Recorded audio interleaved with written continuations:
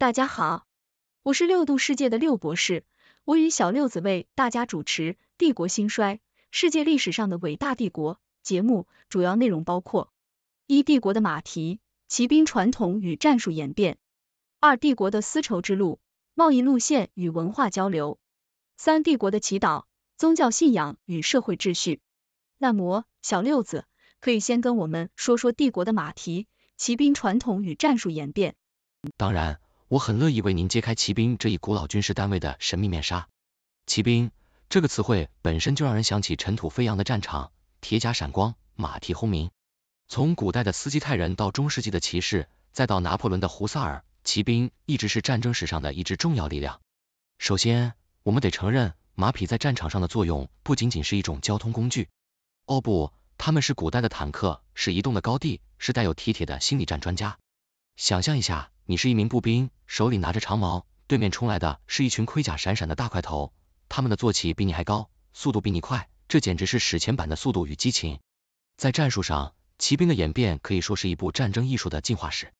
最初，骑兵主要是用来侦察和追击敌人的，但很快，人们就发现，如果给这些骑士一些长矛，他们就能在冲锋时形成一股不可阻挡的力量，这就是著名的骑兵冲锋，一种可以让敌人步兵阵线崩溃的战术。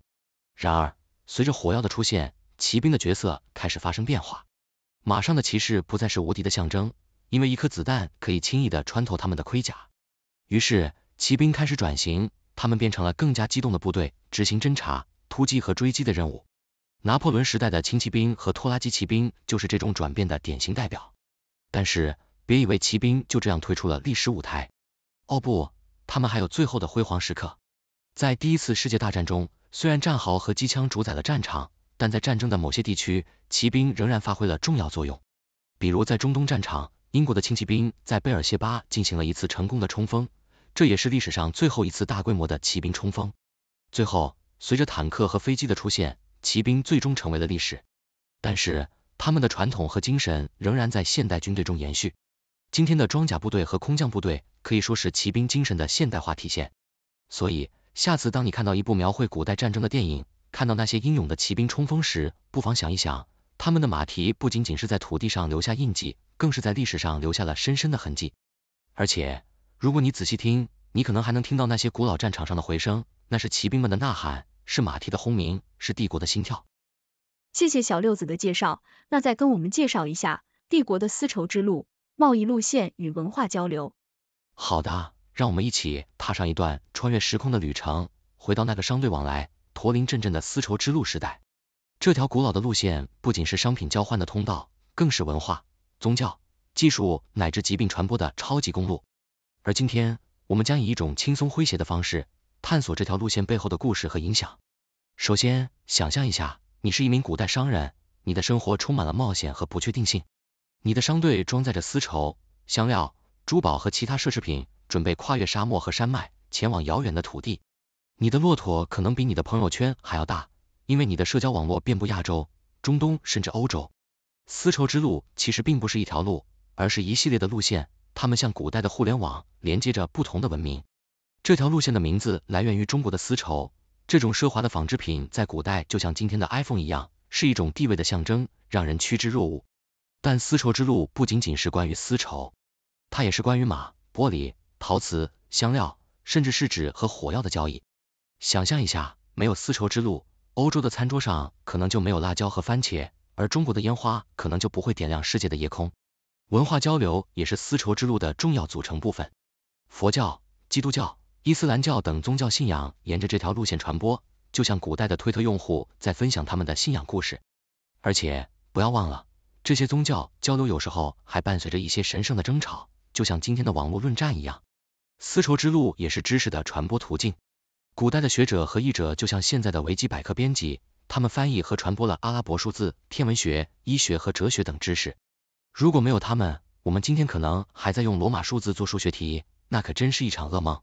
当然，丝绸之路也有它的阴暗面，就像现代的互联网一样，它不仅传播了有益的信息，也传播了疾病。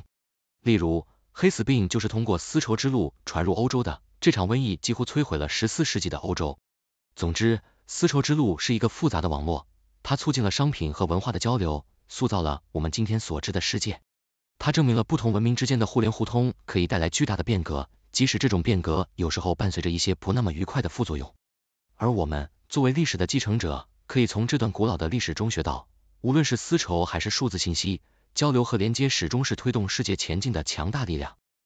谢谢小六子的介绍，那再跟我们介绍一下帝国的祈祷、宗教信仰与社会秩序。好的，让我们来聊聊帝国的祈祷、宗教信仰与社会秩序这个话题，以一种既专业又不失幽默的方式。首先，我们得承认，帝国和宗教之间的关系就像是一对老夫妻，时而亲密无间，时而又争吵不休。帝国作为政治权力的象征，总是希望通过宗教来巩固自己的统治，而宗教作为精神信仰的代表，往往希望通过帝国来扩展自己的影响力。这种关系可以说是互相利用又互相制约。拿罗马帝国来说，凯撒大帝可能在过河时对河神说了一句：“你给我平安，我给你祭品。”这就是一个典型的例子。帝国利用宗教来维护社会秩序，让人民相信，只要他们遵守规则，神明就会保佑他们，而帝国的统治也就得到了神的认可。但是，宗教信仰有时候也会像是那个不听话的孩子，不按照帝国的规矩来。比如在罗马帝国时期，基督教的出现就给传统的宗教秩序带来了挑战。基督徒拒绝崇拜皇帝。这在当时的罗马人看来，简直就是社会秩序的大敌。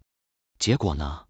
一开始基督徒被迫害，但最终罗马帝国还是拜倒在了基督教的十字架下。我们有了一个基督教皇帝君士坦丁大帝。再比如中世纪的欧洲，教会和皇权之间的斗争就像是一场没有硝烟的战争，教皇和皇帝谁也不服谁，互相瞪眼，就差没直接在教堂和宫殿里打起来。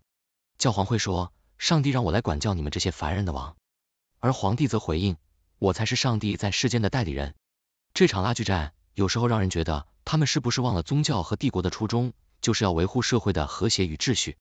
总之，帝国和宗教之间的关系就像是一场精彩的舞台剧，有时候是双簧，有时候是对手戏。但不管怎样，这场剧总是围绕着一个核心主题：如何利用信仰来维护或挑战社会秩序。而我们作为历史的观众，既能欣赏到权力的较量，也能见证信仰的力量。这不仅仅是历史，这是人类社会的一部分，是我们共同的记忆和教训。谢谢各位观众的收看。通过这些内容，我们可以看到骑兵、丝绸之路和宗教信仰在帝国的历史中扮演了重要角色。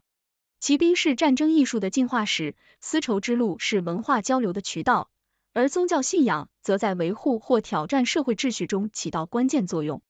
骑兵的战术演变向我们展示了战争艺术的进步。从最初的侦察和追击，到骑兵冲锋的震撼力，再到机动性更强的轻骑兵和拖拉机骑兵。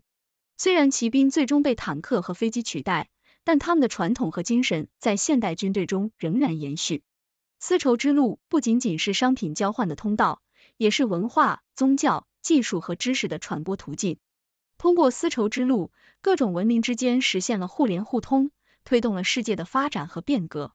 宗教信仰在帝国中起到了维护社会秩序的作用，但也会与帝国产生矛盾。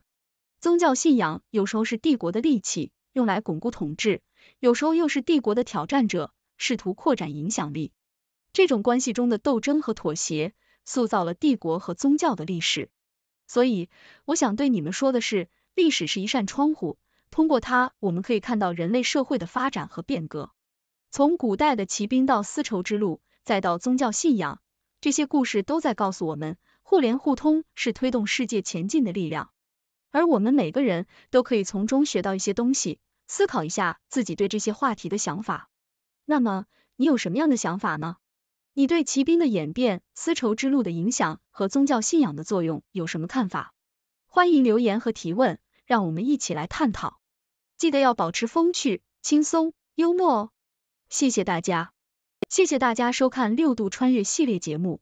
这个节目由媒体专业人士、科学家、工程技术人员编纂、设计、制作。但是这些内容并非用于做出决策或法律裁定的基础。欢迎在节目留言区发表您的见解，纠正节目可能存在的错误。